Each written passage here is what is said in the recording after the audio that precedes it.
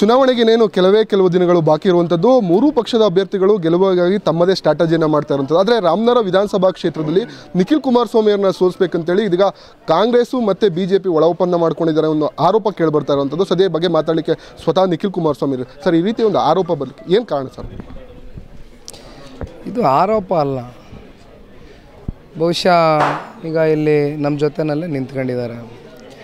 B J P ಪಕ್ಷದಲ್ಲಿ ಹಲವಾರು ವರ್ಷಗಳಿಂದ ಗುರುತಿಸ್ಕೊಂಡು ಪಕ್ಷದ ಪರವಾಗಿ ದುಡ್ದಿರ್ತಕ್ಕಂಥ ಕಾರ್ಯಕರ್ತರಿಗೆ ಟಿಕೆಟು ಬಿ ಜೆ ಪಿನಲ್ಲಿ ಕೊಡ್ತಕ್ಕಂಥ ವಿಚಾರವಾಗಿ. ಯಾರಿಗೂ ಕೂಡ ಸ್ಥಳೀಯ ಮುಖಂಡರುಗಳು ಕಾರ್ಯಕರ್ತರಿಗೆ ಪರಿಗಣನೆಗೆ ತಗೊಳ್ದಿರ. ಏಕಾಏಕಿ ತೀರ್ಮಾನ ತಗೊಳ್ತಾರೆ. ಇದು ಅವ್ರು ಹೇಳ್ತಾ ಇರ್ತಕ್ಕಂಥ ವಿಚಾರ. ತದನಂತರ ಇವತ್ತು ಅವರ ಮನಸ್ಸಿನಲ್ಲಿ ಆಗಿರ್ತಕ್ಕಂಥ ನೋವು. ಇವತ್ತು ಎಲ್ಲೋ ಒಂದು ಕಡೆ ಬಿ ಜೆ ಪಿ ಕಾಂಗ್ರೆಸ್ಸು ಒಳ ಒಪ್ಪಂದ ಅನ್ನೋದಕ್ಕೆ ನಿನ್ನೆ ಒಂದು ಸಾಕ್ಷಿ ಕೊಡ್ತೀನಿ ನಿಮಗೆ.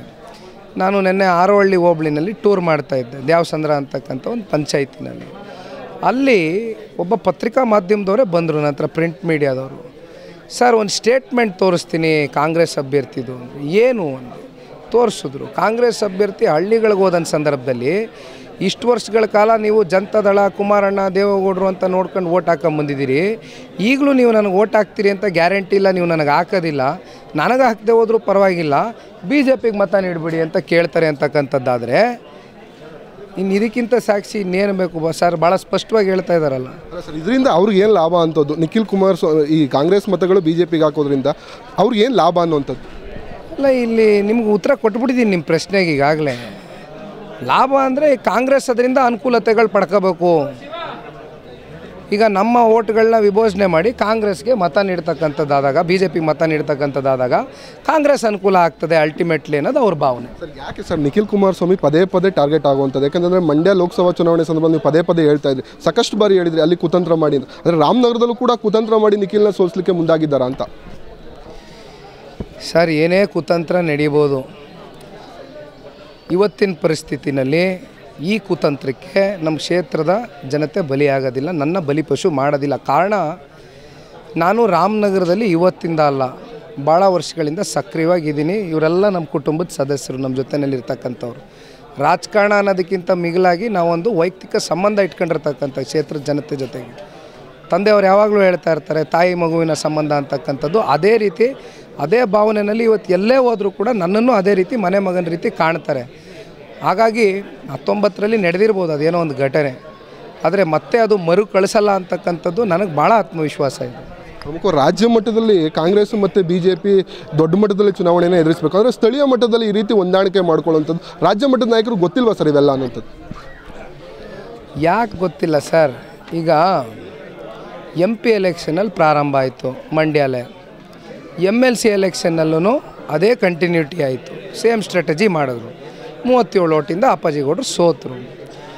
ಈಗ ಇತ್ತೀಚೆಗಷ್ಟೇ ಮಂಡ್ಯ ತಾಲೂಕಿನಲ್ಲಿ ನಿಂತಿರ್ತಕ್ಕಂಥ ಕಾಂಗ್ರೆಸ್ ಅಭ್ಯರ್ಥಿ ಒಂದು ಹೇಳಿಕೆ ಕೊಟ್ಟಿದ್ದಾರೆ. ಯಾರು ಇತ್ತೀಚೆಗೆ ಬಿ ಜೆ ಪಿ ಪಕ್ಷಕ್ಕೆ ಹೋಗಿ ಸೇರ್ಕೊಂಡ್ರಲ್ಲ? ಕಾಂಗ್ರೆಸ್ಸು ಬಿ ಜೆ ಪಿ ರೈತ ಸಂಘ ಎಲ್ಲರ ಸಪೋರ್ಟ್ ತಗೊಂಡ್ರು ಅವತ್ತು ಗೆಲ್ಲೋದಕ್ಕೆ.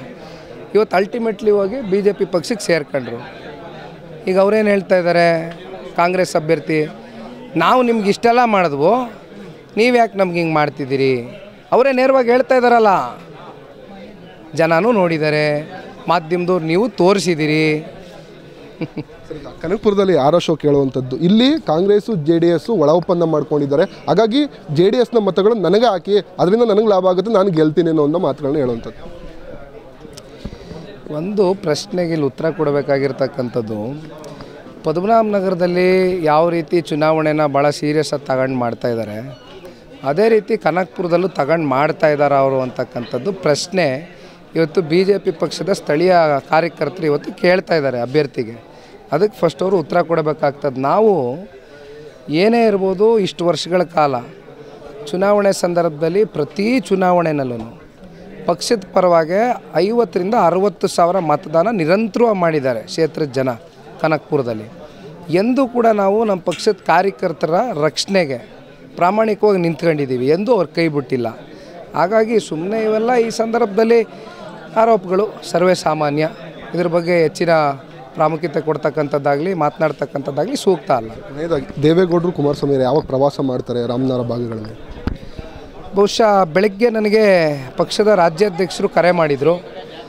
ನಾಳೆ ಮೈನಾರಿಟಿ ಸಮಾವೇಶ ಇಟ್ಕೊಳ್ಬೇಕು ಅಂತಕ್ಕಂಥದ್ದು ನನಗೆ ಚರ್ಚೆ ಮಾಡಿದ್ದಾರೆ. ಬಹುಶಃ ಆ ವಿಚಾರವಾಗಿ ನಾಳೆ ಇಬ್ರಾಹಿಂ ಸಾಹೇಬರು ಭೇಟಿ ನೀಡ್ತಾ ಇದ್ದಾರೆ ನಮ್ಮ ಟೌನ್ ಭಾಗಕ್ಕೆ. ಅಲ್ಲಿಂದ ಬಹುಶಃ ಮೂವತ್ತನೇ ತಾರೀಕು ಅಂದರೆ ಇದೇ ಭಾನುವಾರ ಮಾನ್ಯ ಕುಮಾರಣ್ಣವರು ಹೋಬಳಿ ಮಠದಲ್ಲಿ ಕೆಲವೊಂದಷ್ಟು ಬಹಿರಂಗ ಸಭೆಗಳನ್ನ ಉದ್ದೇಶಿಸಿ ಮಾತನಾಡ್ತಾರೆ. ತದನಂತರ ದೇವೇಗೌಡರು ಸಾಹೇಬರು ಈಗಾಗಲೇ ತಾವು ನೋಡ್ತಿದ್ದೀರಿ, ರಾಜ್ಯ ಎಲ್ಲ ಪ್ರವಾಸ ಮಾಡ್ತಾ ಇದ್ದಾರೆ. ಅವರ ಒತ್ತಡದ ಒಂದು ಸಂದರ್ಭದಲ್ಲಿ ನಾನು ಅವ್ರಿಗೆ ಹೆಚ್ಚಿನ ಒತ್ತಡ ಕೊಡಲಿಕ್ಕೆ ಇಷ್ಟ ಇಲ್ಲ. ಆದರೂ ಕೂಡ ದೇವೇಗೌಡರು ಸಾಹೇಬ್ರನ್ನ ಇವತ್ತಿಗೂ ಕೂಡ ಹಳ್ಳಿಗಳಲ್ಲಿ, ಅವರ ಸಮಕಾಲದವರು ಅವರ ಯೋಗಕ್ಷೇಮವನ್ನು ವಿಚಾರಿಸ್ತಕ್ಕಂಥದ್ದು, ಅವರ ಆರೋಗ್ಯನ ವಿಚಾರಿಸ್ತಕ್ಕಂಥದ್ದು. ಆಮೇಲೆ ದೇವೇಗೌಡರು ಸಾಹೇಬರು ಒಮ್ಮೆ ಬಂದು ಕ್ಷೇತ್ರದ ಜನತೆ ಒಂದು ಮತ ತೋರಿಸ್ಬೇಕು ಅಂತಕ್ಕಂಥದ್ದು ಭಾಳ ಜನ ಕೇಳ್ತಾ ಇದ್ದಾರೆ.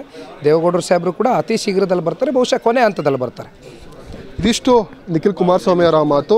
ಯಾವುದೇ ಕುತಂತ್ರ ನಡೆದರೂ ಕೂಡ ನನ್ನನ್ನು ಸೋಲಿಸಲಿಕ್ಕೆ ಸಾಧ್ಯ ಇಲ್ಲ. ಕಾರ್ಯಕರ್ತರು ಇದ್ದಾರೆ ಅನ್ನೋ ಒಂದು ಮಾತುಗಳನ್ನ ಅವ್ರು ಹೇಳ್ತಾರಂಥದ್ದು ರಾಮನಗರದಿಂದ ಪ್ರವೀಣ್ ಎಚ್ ಪವರ್ ಟಿವಿ